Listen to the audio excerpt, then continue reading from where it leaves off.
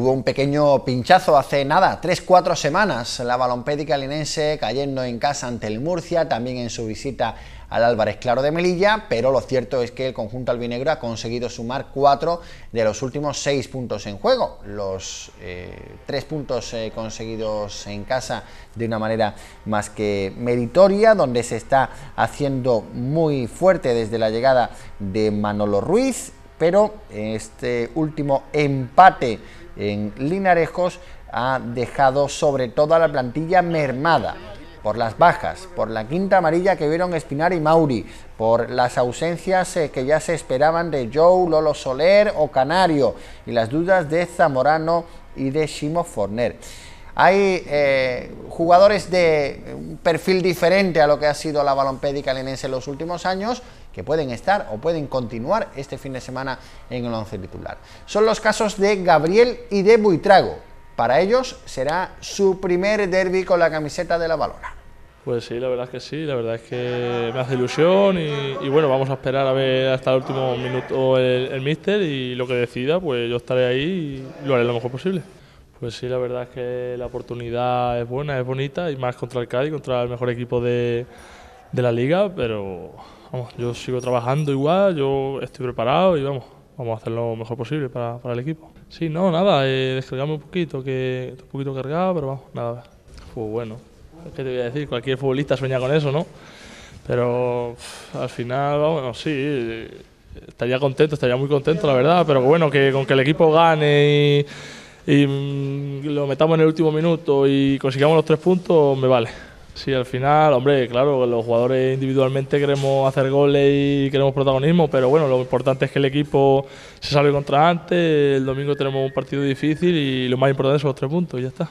Pues bueno, tanto ya estoy acostumbrado a que no, si no viene pues estoy acostumbrado y si, y si viene pues intentaré aprovecharla. Yo, las oportunidades que he tenido, yo creo que he aprovechado bien, pero un futbolista ritmo de, de y yo ainda no he tenido, pero eh, equipo está muy bien, he tenido una secuencia buena, pero yo sigo trabajando para cuando la oportunidad aparezca, yo estar listo. Verdad, yo, yo trabajo semana eh, para jugar siempre, pero quien decide es el mister y entonces yo, yo sigo tranquilo que la oportunidad aparezca. Como yo he dicho, yo trabajo siempre para jugar. Yo espero que sí, una, una grande equipo como Cádiz, es siempre bueno jugar.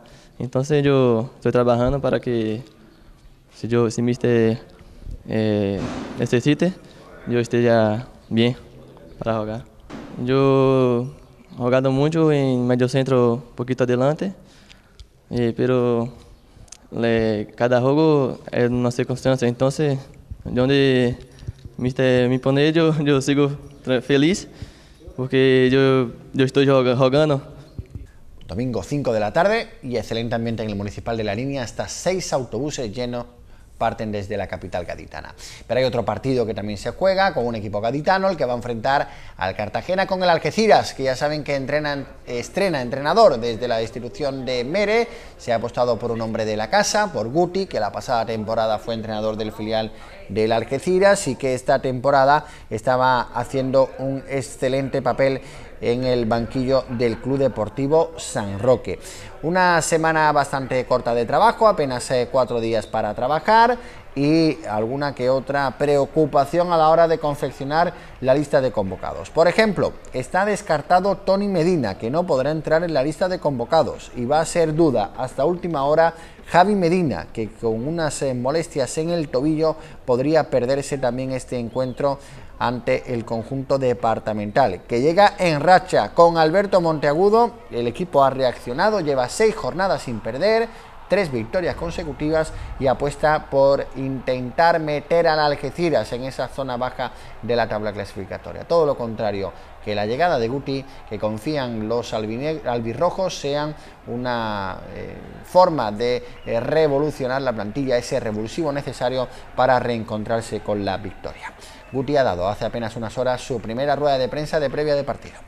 Bueno, pues bien, la verdad que, la impresión primera que, he tenido estos días entrenando es que la gente es lo que yo el otro día hablaba aquí en la rueda de prensa sin conocerlo directamente, pero sí tenía conocimiento por fuera de, lo que había aquí, que la gente está, está con bastante buena disposición, trabajando yo creo que con, con muchísima actitud, con intensidad, el equipo yo creo, que sí está comprometido con lo que hace.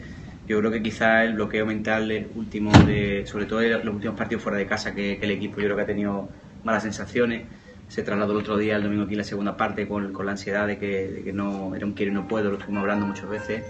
Y, yo creo que la sensación que yo tengo ahora mismo es que, que el equipo está bien preparado para disputar lo que queda de temporada con, con, garantía. Sí, ellos están, ellos es un equipo con uno de los presupuestos más altos de la categoría, un equipo hecho para jugar a liguilla. Eh, están intentando meter mucha gente allí, lo que han hecho un 3 por 1 en las entradas o una cosa así.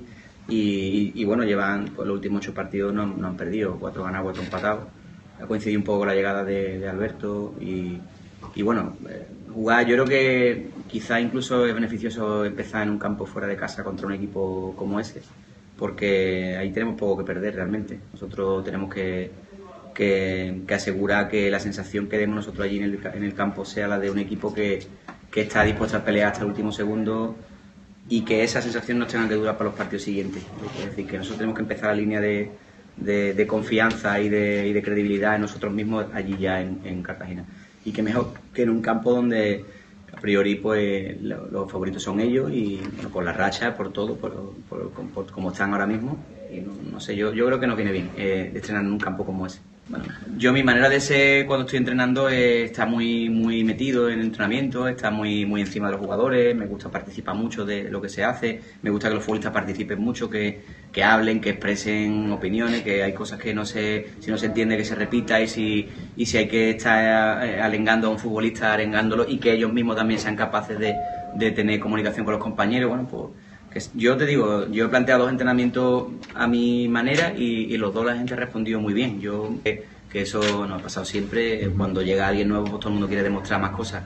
Pero, pero bueno, yo, yo creo que ahora mismo todo lo que sea eh, pasarse un poco de, de, motividad y todo eso es bueno, no, no es malo. Yo creo que lo que nos hace falta realmente ahora mismo es realmente, pues eso, comentar situaciones de partido, situaciones del equipo, eh, situaciones personales de cada uno también tengo que conocerlos más pronto porque bueno, no, hay, no hay un tiempo de pretemporada en el que tú vas conociendo futbolistas, sino que tienes que relacionarte rápido con ellos, saber también por dónde respira cada uno, qué es lo que están sintiendo, qué es lo que le está llevando a lo mejor a, en algún momento hasta quedarse más bloqueado. Bueno, pues, hay que recabar información pronto y, y además a mí me gusta de esa manera comportarme, estar cerca del futbolista y, sentir un poco qué es lo que están viviendo ellos. Bueno, sé pronto todavía, yo creo que el, el partido ahora mismo y y hace distinción rápida de lo que va lo que es uno y otro. La idea de fútbol, la plantilla es la misma, los jugadores son los mismos, no, no puede haber tampoco siquiera muchos cambios, incluso entre el 11 o la convocatoria, porque no hay tantas futbolistas disponibles. Entonces, eh, yo quiero que el cambio solo sea realmente mental ahora mismo, que, bueno, quizá lo que dice Carlos, que el equipo se muestre un poco más agresivo, que se muestre un poco más, más, más vivo dentro del partido, quizá eh, hay que buscar un poco el revulsivo este en la parte de emocional y, sacarle al futbolista un poquito más de la chispa que, en un, momento dado cuando las cosas no van bien nos está faltando. Yo creo que el equipo le cuesta sobreponerse a las dificultades y pues hay que intentar mantener la concentración durante más tiempo para que esa dificultad pues pase un poco más desapercibido y no, no tengamos que sufrir tanto.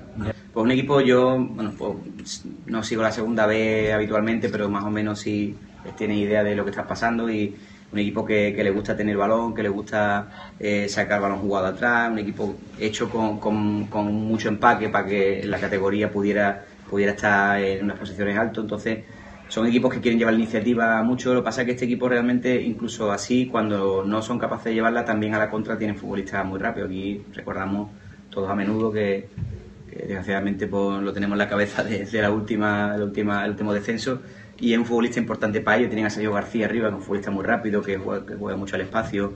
Eh, en medio campo, Rivero, un futbolista que yo creo que para ellos es fundamental la salida de balón. y Es un equipo con, con muchas cosas, con muchas, pero bueno, también hay cosas que, que hemos visto que se puede, por donde se les puede atacar y, vamos a intentar pues, aprovechar todos los puntos flacos de ellos, que también los tienen como cualquier equipo de la categoría, y, sacar el máximo rendimiento a, lo que tenemos. Será el domingo a las 6 de la tarde ese Cartagena-Algeciras. Cambiamos de categoría, nos vamos al grupo décimo de tercera división, que nos deja estos horarios para el fin de semana. sexta jornada, a las once y media del domingo se juega el Coria Écija, a las 12 los barrios San Fernando, Guadalcacín Gerena, Roteña Castilleca, Ceuta Alcalá y Cabecense Sevilla C. A las 5 de la tarde Córdoba B San Juan y Conil Arcos, a las 5 y media la Lebrijana recibirá al Utrera. Se ha convertido el San Fernando casi en el rey del empate, salvo la victoria ante el Córdoba B in extremis el equipo nada más que hace empatar con Ñoño Méndez en el banquillo. Son 13 empates ya consecutivos los que acumula el conjunto azulino, que está a 8 puntos de segundo y tercero y a 18 puntos del liderato. Y lo preocupante es que por detrás a tan solo 8 puntos vienen el San Roque, el Sevilla C, también está cerca el Gerena. En teoría no debe peligrar esa cuarta plaza, pero no lo va a tener fácil este fin de semana ante una Unión Deportiva Los Barrios que eh, ha conseguido encadenar tres partidos consecutivos sin perder, dos de ellos con victoria. Ñoño Méndez espera que su equipo dé la mejor versión para asegurar cuanto antes el puesto de playoff de ascenso a Segunda División P. Hombre, pues analizando el partido durante la semana, lo que le falta es efectividad de Caragol, porque un equipo que hace más de 20 centros laterales, tira más de 7 córner, tiene cuatro opciones de tiro dentro del área, tiene acciones de 3 contra 1, de 3 contra 2 y no somos capaces de hacer un gol, pues la verdad es que es preocupante porque lo que nos falta es la definición, yo creo. Es una pena que tirando el el Colén una vez a portería y un remate de cabeza que sale por encima del larguero te empate un partido, ¿no? No, no, no, no. Es una cuestión que ya venimos eh, siendo reiterativos, por eso la última semana hemos estado trabajando muchísimo el tema de la definición. No sé si es ansiedad, si es precipitación. La verdad es que las sensaciones después del partido, inmediatamente cuando termina un partido, es diferente a que cuando uno analiza el partido más tranquilo al día siguiente y hace los cortes, los prepara las imágenes para que ellos lo vean y sean capaces de mejorar en ese sentido que seamos capaces de tener ese plus que ahora mismo no tenemos, ¿no? Claro, evidentemente, ¿no? Yo creo que me parece que el otro día estuvimos mirando y creo que este equipo solo en siete partidos de liga, si no recuerdo mal, ha hecho dos o más goles. Entonces eso es un síntoma que se viene arrastrando desde hace tiempo, ¿no? No sé, la verdad es que los barrios los he visto en los últimos tres partidos de liga y algún que otro partido más que también perdieron en casa y es un rival que defensivamente es muy compacto, eh, trabaja muy bien la presión y que arriba tiene gente muy rápida y que salen a la más mínima. Yo creo que va a ser un rival difícil. tanto para que engancharse en el último tren, lo, creo que lo tienen complicado porque son muchos rivales los que tienen por encima, pero sí para ganar tranquilidad de cara a lo que le queda de temporada, sí. Nosotros, como ya te dije hace un tiempo, nosotros tenemos que ganar nuestros partidos, eh, olvidarnos de los demás y a medida que vayamos sumando nosotros y a si es posible de tres en tres, ya tendremos tiempo de mirar para arriba. Nos quedan siete partidos para intentar alcanzar el objetivo y lo que nosotros tenemos que pelear es por ganar el máximo número de partidos que nos quedan. ¿no?